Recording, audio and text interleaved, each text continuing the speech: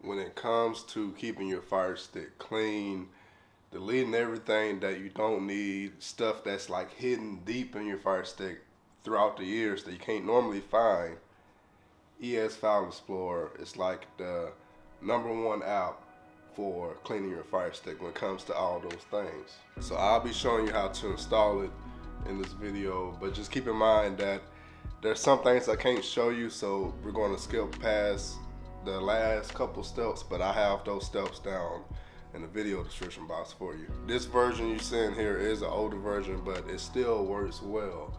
But I can show you better than I can tell you. So let me give you a quick example how it works. So this is my space right now. It's a lot of stuff left over. Let me just show you. So under local here, I'm gonna go to internal storage and you can already see like a lot of stuff that that's been left over for years. Like apps like that one and this one here I haven't used these in, in so long but it still has like little leftover files. But let's go to, to the downloaded folder. And here you can see like a ton of stuff that's left over. But yeah let's go ahead and clean it up real fast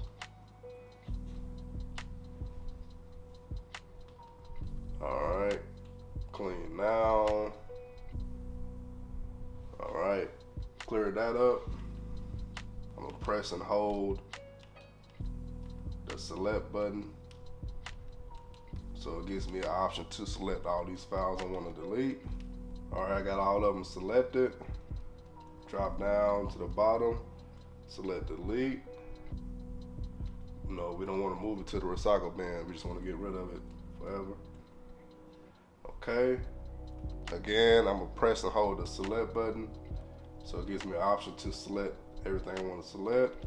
I don't have that, I don't have that, uh, I don't have that anymore. Drop down to select delete. We wanna delete it forever, so deselect that, select okay. All right, got rid of some more stuff. You get the gist of it, but there's one more thing I wanna show you.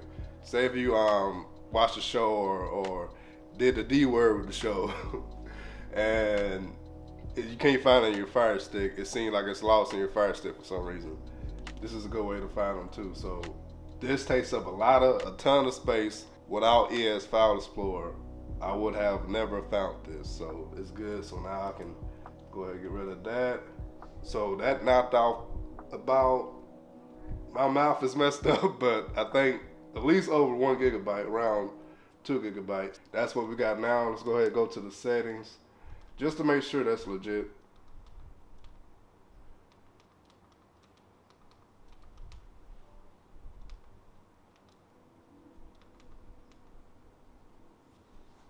Yeah, it's legit. Now we got that out the way, let's go ahead and get the app. So step number one, if you're new, I'm gonna go through all the steps so we don't leave anybody behind. So step number one, let's go to the settings. From the settings, go to My Fire TV. From My Fire TV, go to developer options.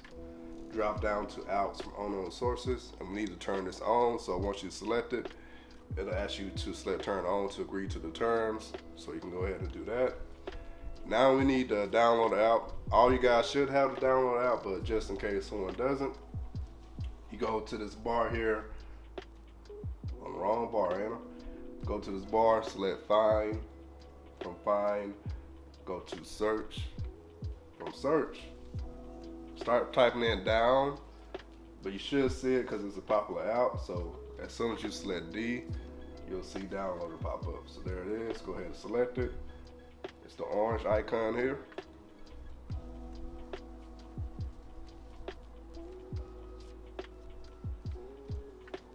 Once you get here, you can go ahead and select download. And we're gonna wait until it finishes installing and downloading. But I do have to say, this is, when we get the download app open, it's a step that we had to skip. But again, check the video description for like all the steps, the, the remaining two steps. Cause I can't show you everything on YouTube.